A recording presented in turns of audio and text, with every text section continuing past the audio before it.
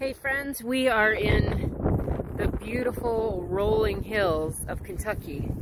And right behind the truck stop that we're at is this big, huge field. And I got my little terrier American pit bull here who's dying to get off his leash. And I want you guys to show how fast this little guy is. Come here, Jake. So let me take his leash off. Wait, wait, wait. Come here. I'm gonna tell him to go and you guys watch this. Ready, Jake? Go, go!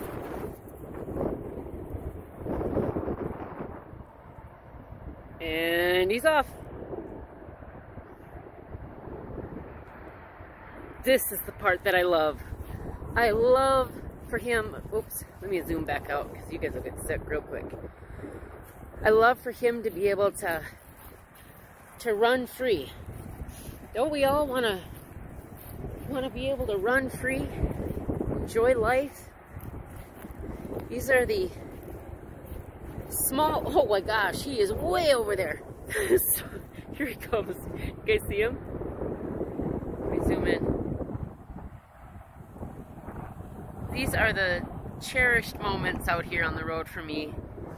Is when even a field like this makes him so, so dang happy. He is just on the ridge over there. I can see him right before the trees. So I just wanted to, to check in and um, show you that life is completely enjoyable in small bites. Small moments finding the joy in everyday things. I don't know, I used to chase rainbows. Now,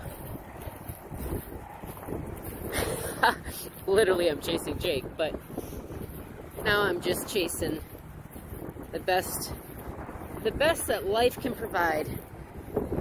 The moments of time that are sweet and enjoyable. Alright. He is technically out of my view, so I will save you from my yelling for him and uh, proceed to find that little butt. Take care, guys. As always, be safe out there. And we will see you real soon. Bye. I caught back up with him. Look at him and his big old tongue hanging out of his mouth. Panting away. Aren't you, buddy? Yeah. How many miles did you put on? Jakey, how many miles did you put on? Oh, he's a good looking guy, isn't he? I gotta go get him some water.